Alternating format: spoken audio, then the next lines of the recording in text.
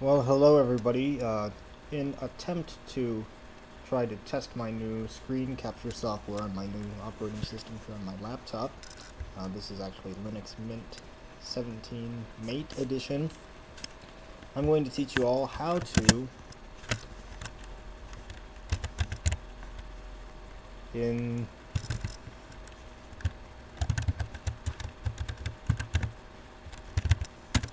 install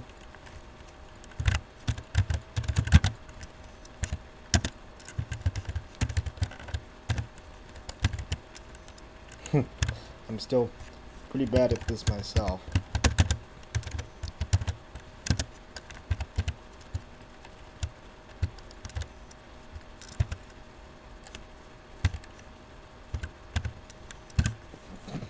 Yeah, that's probably not standard IPA, but I wrote that really quickly.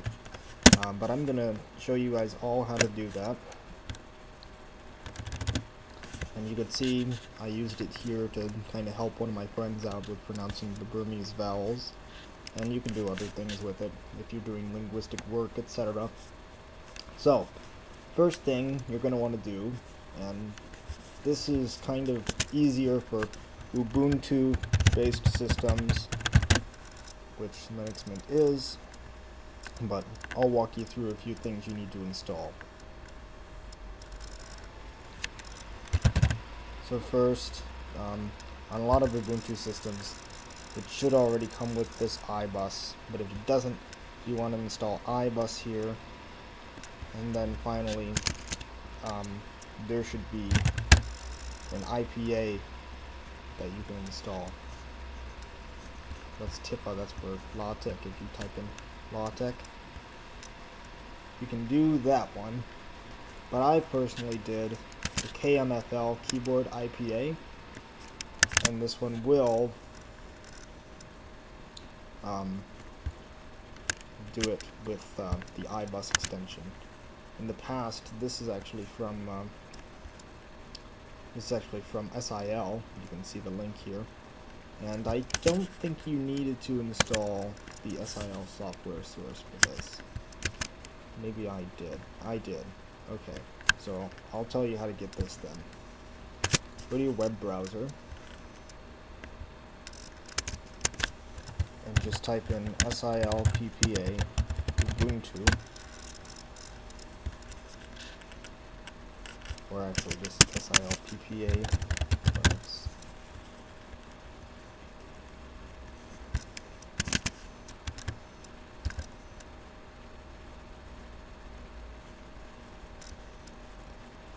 So you might have to play around for a minute. I used to be able to find things quite easily, and now I can't.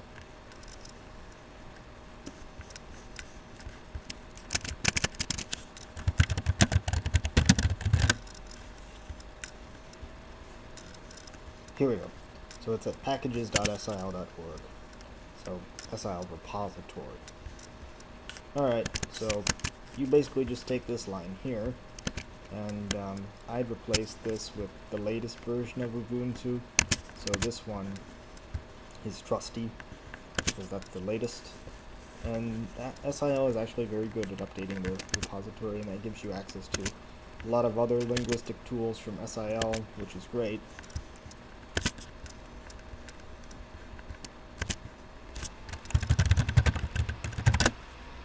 So then you go ahead and you take that and then you find the um, IPA and then KMFL. Uh, iBus KMFL. Yeah, you will need that. But actually, that should install when you install this KMFL keyboard IPA. It should install that. And if you're an i386, it'll probably install that. I'm an I'm a 64-bit, so.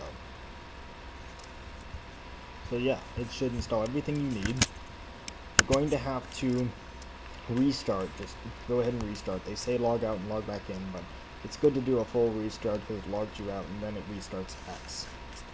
So afterwards, you know, you should see Linux Mint by default has this up here, but in case you don't get that, you're going to want to go into input method here, and then it should say automatic configuration iBus.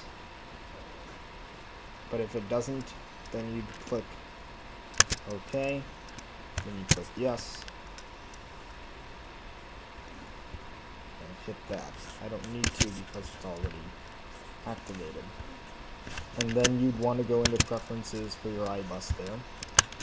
Go to input method, make sure that this customized thing is checked, and then you should be able to go, you might have to go to show all, might have to, but in this case it should show up under other, and for some reason right underneath Croatian is IPA. So you add that there, and now this is kind of a glitch with mine, I don't know why, but the common um, keyboard shortcut to switch the um, the iBus layout is Control and Spacebar. And you'll get this whole big thing, and I don't know why, but there's tons of English US layouts.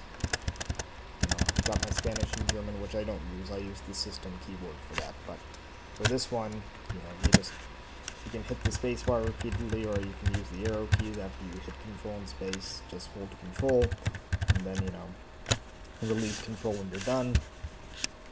And last but not least, you're going to need to download from uh, SIL's site their manual for this. SIL IPA.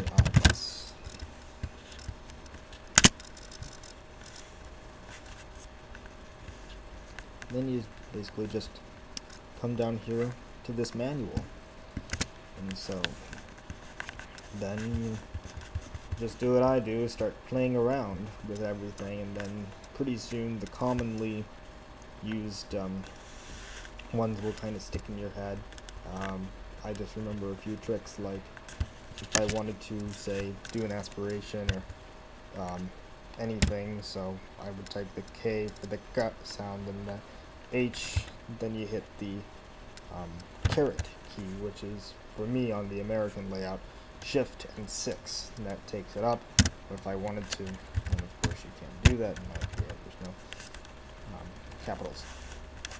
But uh, say I also wanted um, so I got B and then I wanted to suspend that for the for the um, palatal raising. You know I would hit J and then I would hit that so that's one thing that I learned. Uh, you can also do tones, which is basically you hit the pound or the, um, um, everybody's calling it a hashtag now, but that's commonly known as a pound or um, sharp. Hit the pound or the sharp, and then from 1 to 4, you can choose how the tone is.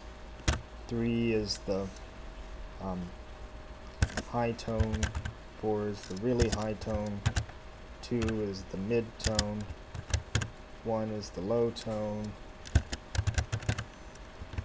and um, if you're in the right font, which usually for me works well as Charis SIL, which you can also install from the repository, you can do um, falling rising tones. I found out the hard way if you're not in that Charis SIL font. It does not work. It displays as two separate ones, kind of like that. So yeah, um, that's kind of all I have for now.